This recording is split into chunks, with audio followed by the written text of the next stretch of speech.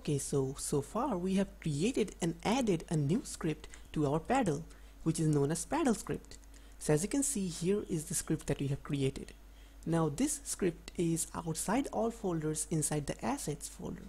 But since we have created a separate folder for scripts, so we're gonna drag this paddle script and drop it inside the scripts folder. So now all our scripts will be organized inside this scripts folder. So let us double click this paddle script to open it in MonoDevelop. To edit it, we need to just double click it and after double clicking it, it will automatically be opened in our MonoDevelop which is the default which is the default code editor for Unity. So as you can see here we have this paddle script opened. So now here we have to write code by which the paddle will be moved.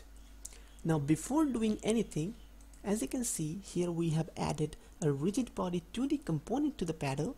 So from the code we want to access that rigid body 2D and we want to access all the functionalities of that rigid body 2D.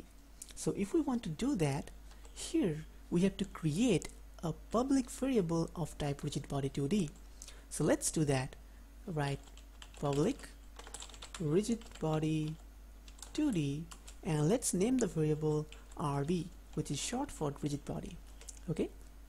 So when I do that you can see that in the scripts after it gets updated in the scripts as you can see we have a slot named RB so this is the rigid body this is the public rigid body that we have created here. So as you can see it is none empty. So that means we have to add the rigid body that we want to access now since we want to access the rigid body that is attached to the paddle, so we're just gonna drag and drop the paddle right here. So as you can see now it doesn't say none, it says paddle red rigid body. Okay, so we have added the rigid body 2D component of the paddle here.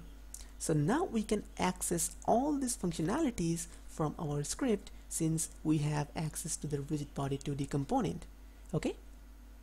So in the script, now we can access all these functionalities. So if we want to move our paddle, so we need to move it left, we need to move it right, and whenever we are not doing anything, we just want it to stay still.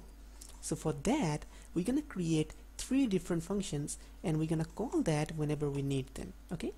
So first of all, let's create void move left so this function will be responsible for moving the paddle in the left direction. So create another move right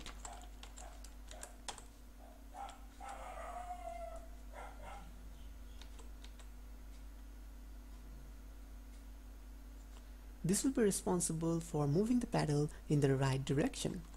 And let's create another function and I'm gonna name it void. Stop. So what this function will do is this function will stop the movement of the paddle whenever we are not pressing any key. Okay? So how can we now add the functionality to move left move right and stop? As you can see we already have access to this rigid body and this rigid body component has a property called, velocity this velocity is the speed by which the object moves in any direction. Now here we want to move the object in the left and right direction in the x-axis. Okay, so we have to give it a velocity in the x-axis. Okay, so in the move right function, if we want to give the velocity to the rigid body 2D, as you can see here we have created the rigid body 2D which is named RB so if we want to give it the velocity then we can write RB dot velocity. And by writing this velocity we can give it a velocity. Okay? Now we can't write just 10 and give it a velocity of 10 because Unity will not allow that. If we just keep the cursor over this velocity currently it is not coming but it should come if we just click the cursor over velocity as you can see here velocity is a type vector 2 so a vector 2 always takes two values a x value and another y value. So if we want to add a velocity then we have to create a new vector 2 and within that we need to pass a x value and a y value. Okay? So let's do that. So in order to create a new vector 2 we're gonna write equal sign and then write new vector 2 okay? And inside that vector 2 as you can see we have to pass two variables the x and the y.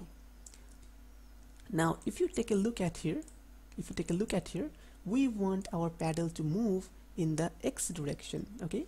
So we always want to give it a velocity in the x direction but we don't want it to move in the y direction. We don't want it to move like this. So we will give the y velocity always zero and we will give it a velocity in the x direction. Now if we want to move it to the right direction like this then we have to give it a positive velocity in the x direction since this is positive x. And if we want it to give a negative velocity like if we want to move like this then we have to give it a negative velocity on the left direction. Okay? So for moving right we have to give it a positive velocity and for moving left we have to give it a negative velocity in the x axis okay? So in order to do that we need to create a new vector 2 and in the inside the vector 2 we can pass two options. For the first term we can pass the x value and for the second one we can pass the y value and we have said that we want to make the y value 0 since we don't want to pass anything in the y value.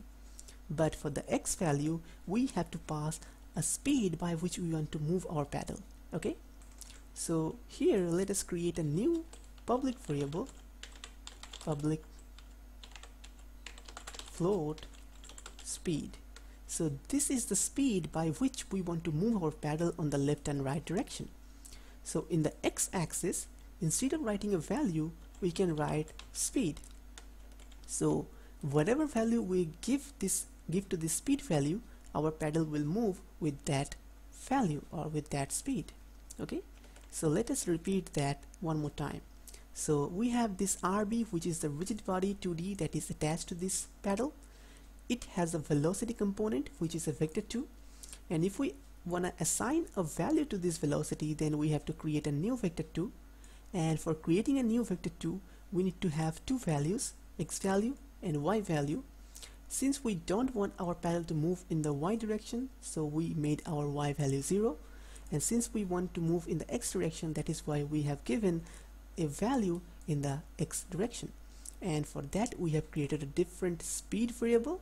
And we can give any value to this speed variable and our paddle will be moved with that value okay? Now in the right in case of move right we wanted to move the paddle in the right direction so we wanted to give we want to give the uh, we want to give its x component a positive value. So that is why we have written speed here which is a positive value but in case of move left we want the paddle to move with same speed but on the opposite direction on the left direction. So if we wanted to move in the left direction all you need to do is just select and copy this whole thing paste it right in there and in front of the speed variable we just need to write a minus sign. So that means we want to move it in the negative direction on the left side okay so now after writing this, as you can see in the script, in the script, in the paddle script, we have a new slot which it says speed. This speed is this public variable that we have created.